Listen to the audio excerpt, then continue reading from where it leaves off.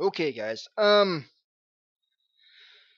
uh, the last thing we're gonna talk about pretty much is she er, your instructor was talking about using um different ways or different techniques and how to present, and it seems like right now you don't really have a good way to record video.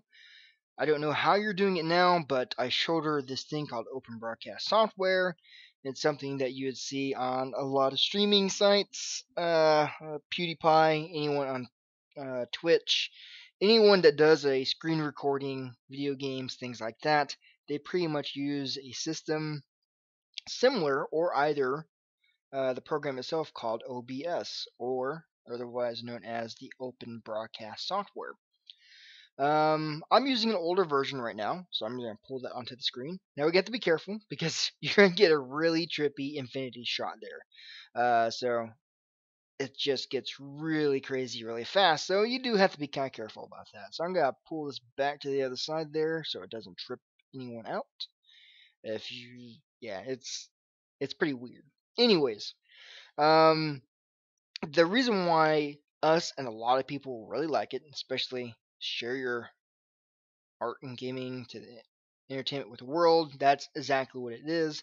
It is a free software that works with Windows and Mac, and I really don't know people that are cool enough to run anything on Linux or Linux. I don't know how they're supposed to say that.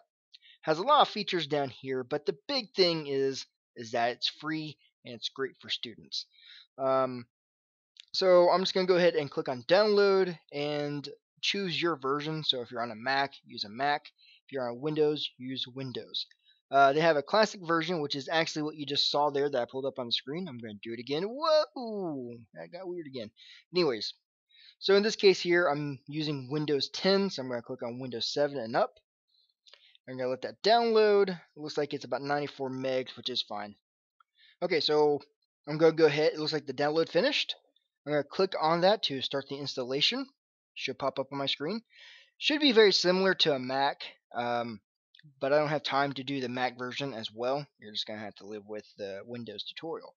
So I'm going to click on Next, Agree, and most of the time you just hit Next, but in my case I'm going to do an F because I have an F drive. But uh, most of the time you just leave it alone. Don't touch it. But I have some special stuff on my computer and I want to keep it that way. And I just keep hitting Next until it starts doing this weird fancy extract thing. Yep, Sometimes I get bored, I click on this button. You can't really ruin it, just kind of wait. Okay, so I'm going to go ahead and run OBS.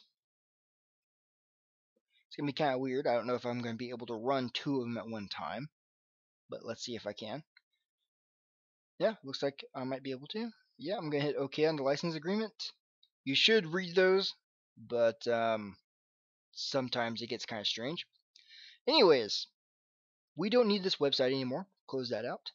Uh, now I have an icon here. Looks like this really cool ninja star, so you might cut yourself if you're not careful. But this is what the interface is going to look like. Um, I'm glad I'm able to run two of them because it'd be really trippy because you'd have to be looking at this every time. Oh god. Anyways, going back. Uh, the first thing that you're going to want to do is you want to set up a source.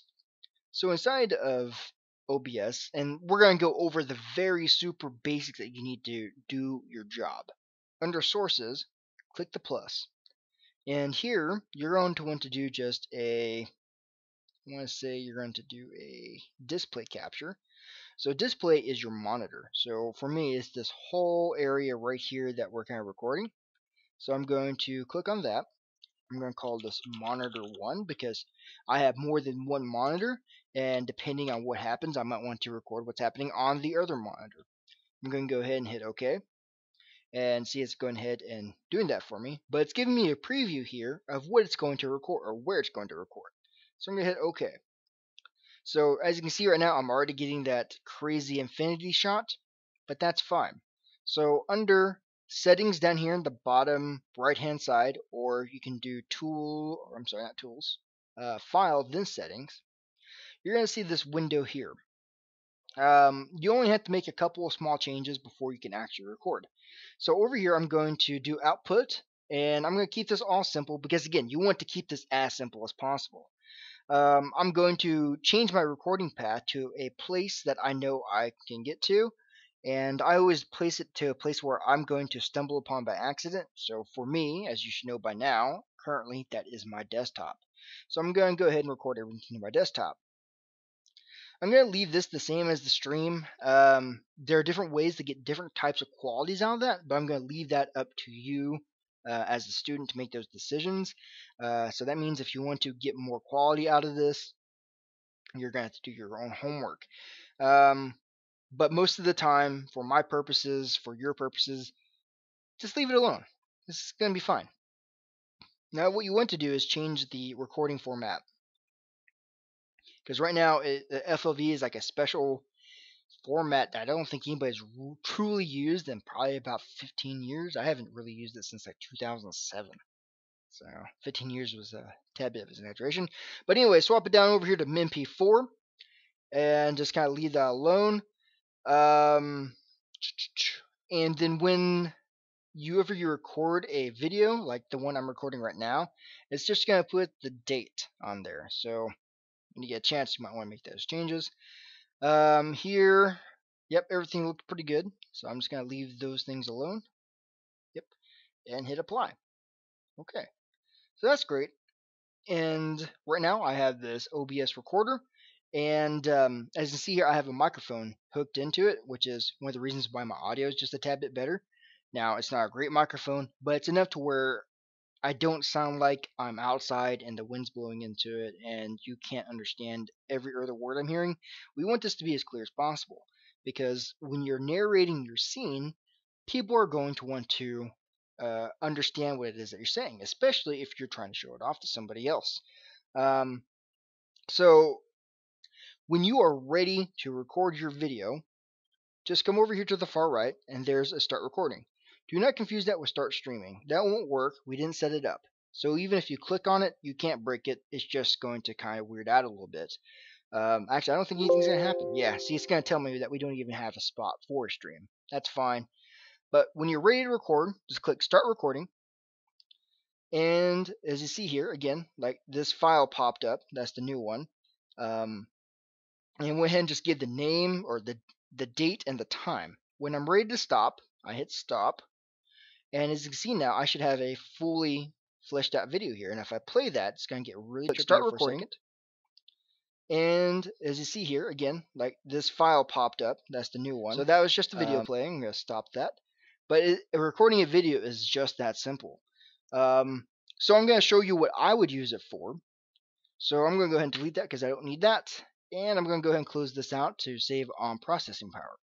So what I have here is a Unity scene. Um, it's kind of trippy, and I and it's I downloaded it from the Unity Asset Store, and it's just a corridor lighting example because it's made to show off all the new cameras, the lightings, all the special stuff that you have.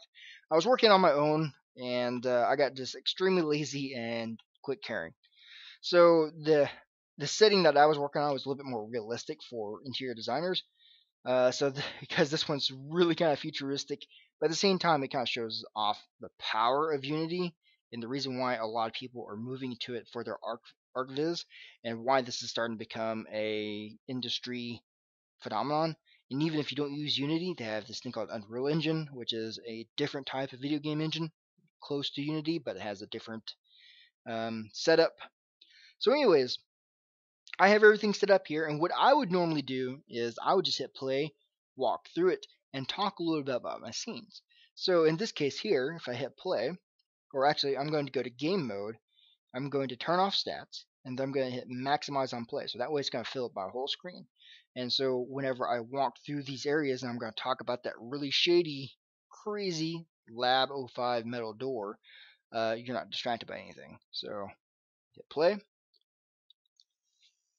And here I am in the scene. Uh, you can see here, if I walk around, I have a couple of bouncing balls that are doing realistic real-time shadows and really kind of crazy types of caustics. Um, we chose Lab 05 because it's really pretty, and that's the number. I really like the birthstone of 5. I think it's a Maystone, and I think that's orange. That's a lie, I don't believe that. So what we can do is we can follow us over to the right corridor, and we can notice that it's just dark and ominous and kind of scary. The further away I get from lights, the more scared I get, and the more dangerous I become. Uh, we can go over to the other side of the corridor and take a look at that. And inside of here, same thing, really dark, scary. Got some clouds coming up. But that's the tour of my corridor, guys. And uh, thank you for joining us. So that's how simple this setup is. As I turn off play and I hit record again, I'll actually have a different set of videos to work with.